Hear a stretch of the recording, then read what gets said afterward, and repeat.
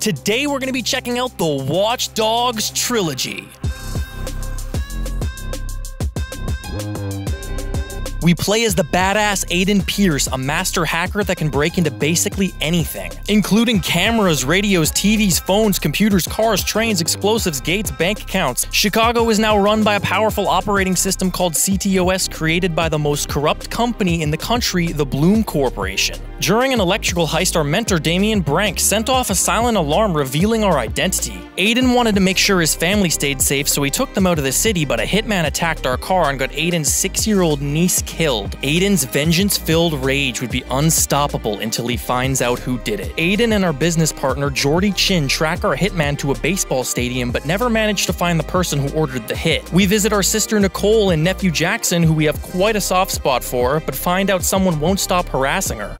Listen, the police can trace this call. With the help of Bad Boy 17, aka Clara, we find our harasser is Damien Brenks, who wants our help to find one of the hackers from the job that got them caught a year ago. A witness from the stadium needs to be dealt with, so we get ourselves caught, break out of our cell, and we have a little chat with him. 60 years? What are you doing, man?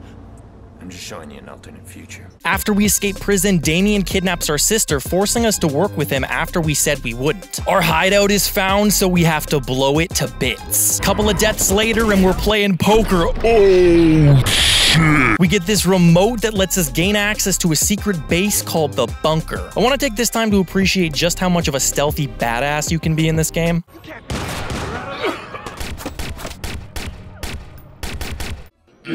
We follow and blackmail this guy by the name of Bedbug so we can break into this gang leader's secure servers, but we still need to get an access key. How do we do that, you ask? By breaking into a human auction where the gang leader is to get our copy of the room key. Well, now that is some fucked up shit. We sneak Bedbug into the gang leader's hideout, who is his cousin, by the way, and get him to start downloading all the data, but he gets caught.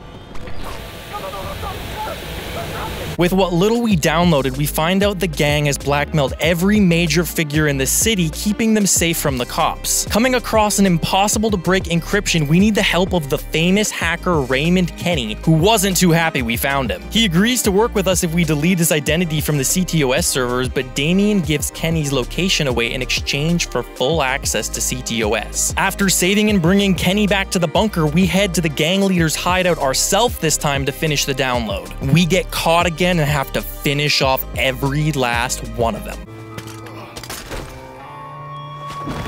Clara betrays us and allows a hacker by the name of Defalt to break into our servers and delete everything we have. Damn it, Clara! Damien, annoyed with our progress, releases our name to the news and cops. I am a victim of a hate crime. We find the location of our sister, rescue her,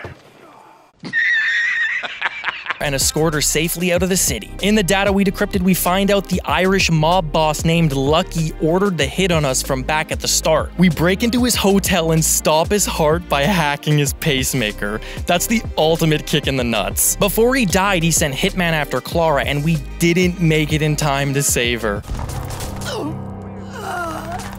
Kenney creates a virus to help shut Damien out of CTOS, and we track him to a lighthouse where our old buddy Jordi double crosses us, but we end up yeeting his ass into the water and putting an end to Damien once and for all. Better graphics, improved driving, shooting, hacking, parkour, and dozens of clothing options. This time we play as Marcus Holloway, a hacker determined to take down Blume who framed him for a crime he didn't commit. The hacker group DedSec sets up a trial to test and see if Marcus is worthy to join them. Spoiler alert, he totally is. This game takes a much different approach, requiring you to gain enough followers to use their computing power to eventually stop Blume and its CEO, Dusan Nemec. Our first mission is to steal this car from a movie studio and rig it up so we can control it remotely and perform stunts all across the city. This way, DedSec ends up on the news and starts getting noticed by the public. DedSec will give you the truth. Next stop is the New Dawn Temple to find ancient Sumerian tablets. It turns out the tablets were fake and the church was lying to its followers. DedSec wants an uprising, so anything they can do to spread their message, they will. We steal a $30,000 robot, but we'll get back to that later. Marcus ends up meeting Dusan, the Blume CEO, but he calls the cops on us, so we have to escape. DedSec, in a bit of a rut, calls up Raymond Kenney, who was helping Adrian from the first game. Horatio and Marcus head over to Nudle headquarters to break into this server farm. We get hacked by this annoying little shit named Lenora Kastner. I'll get you, and I'll look like a bloody accident. We track down her hideout, which she rigged with explosives, but we're hackers. That's too easy! Someone starts spying on us, so we take their intel and find out it's the FBI. You serious? We sneak up onto the roof of the FBI building all nonchalant like and take the data, but our teammate's wrench ends up getting caught and has his mask stolen, so we have to steal it back. Horatio ends up in the wrong place at the wrong time and gets kidnapped by gang members in a group known as the Tezcas. We find out where he was being held, but we never made it in time and he bled out. I'm here, man.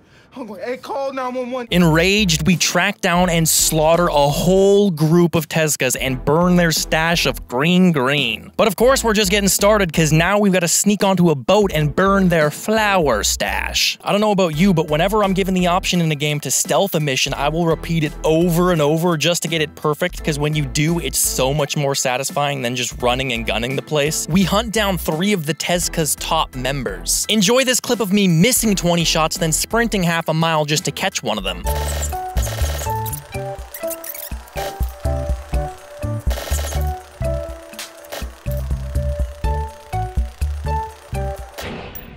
Quinta's out. And finally, we take out their leader, Pablo, because if you're gonna go after some of them, you might as well go after all of them. That's for Horatio, bitch. Kenney wants us to put some tech into a rocket set to launch so we can get into Blume's servers via satellite. Freaky physics compilation.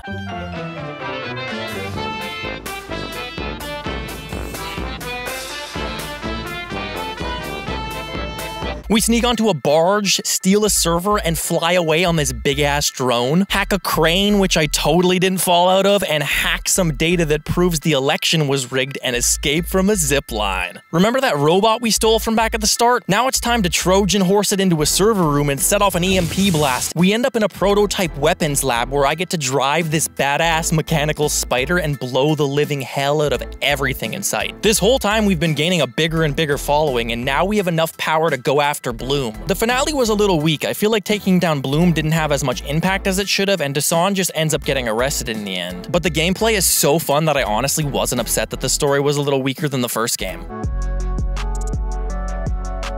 It's got badass masks, amazing melee combat, spider bots, and big ass drones that you can fly on. In the last game, we had to gain as many followers as possible to take down Blume, but in this one, we get to recruit just about anyone off the streets to play as with different weapons and abilities to fight the five villains of London. We have Sabine Brandt, who is the leader of London DedSec, but also the leader of the group fighting against them, Zero Day. Nigel Cass, the corrupt CEO of military group Albion, who wants to replace the police force with drones. Mary Kelly involved in not only slave trading but organ harvesting as well. I couldn't think of a more horrible job if I wanted to. Skye Larsen, the founder of Broca Tech, who believes humans should be transferred to AI no matter how many lives are lost to get there. And finally, Richard Malik, who framed DedSec for killing the SIRS director of counterterrorism, Emily Child. We sneak around in Mary Kelly's house to find out she's implanted chips in her slaves' brains, and when they disobey her, we end up breaking into Skye Larsen's underground fever dream cottage to find out she's actually a complete nutcase who experimented on her dog, brother, and mother for the sake of humanity. We find out where Sky is hiding and have to stop her before she uploads to the cloud. We can be safe, free, and happy forever. We hire an ex-Albion guard to spy on a meeting Nigel Cass is having, and surprise, surprise, he's also a nutcase.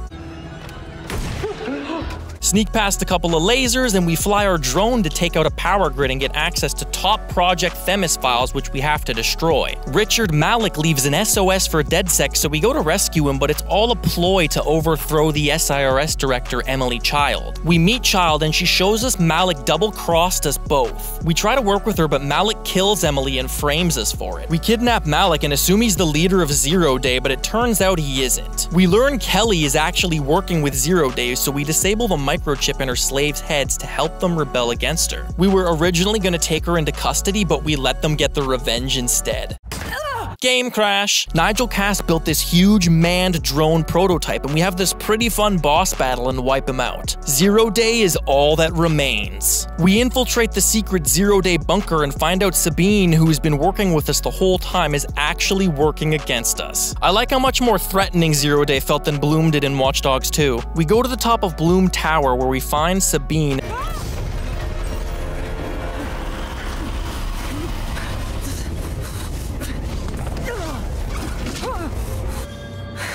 Bye, have a great time. And that has been the Watch Dogs trilogy all in one video. Thank you so much for watching, and I'll see y'all in the next one.